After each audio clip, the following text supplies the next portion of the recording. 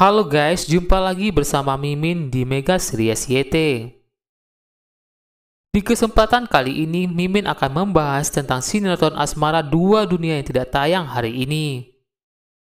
Namun bagi teman-teman yang baru bergabung, jangan lupa tekan tombol subscribe ya. Terima kasih. Pasti Sobat Mimin semua tidak sabar untuk menyaksikan kelanjutan Mega Series Asmara dua Dunia Indosiar. Di mana lagi seru-serunya ya guys dan menegangkan. Gimana tidak di saat Aura, Reno, Sylvie sudah berhasil menemukan lokasi di mana Bunda Larasati disekap. Ditambah lagi Aurel yang jatuh pingsan setelah dipukul oleh Ervan. Pasti teman-teman semua pada penasaran ya, bagaimana nasib Aurel selanjutnya.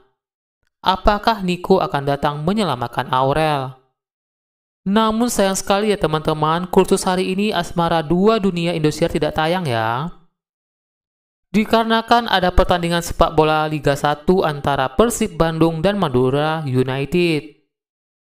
Hal ini telah dikonfirmasi oleh MKM Official, di mana Asmara 2 Dunia tidak tayang hari ini dan kembali tayang pada Senin 14 Maret 2022. Jadi mohon maaf Asmara 2 Dunia tidak tayang hari ini ya dan akan kembali tayang Senin 14 Maret 2022 hanya di Indosiar. Jadi teman-teman harus bersabar ya.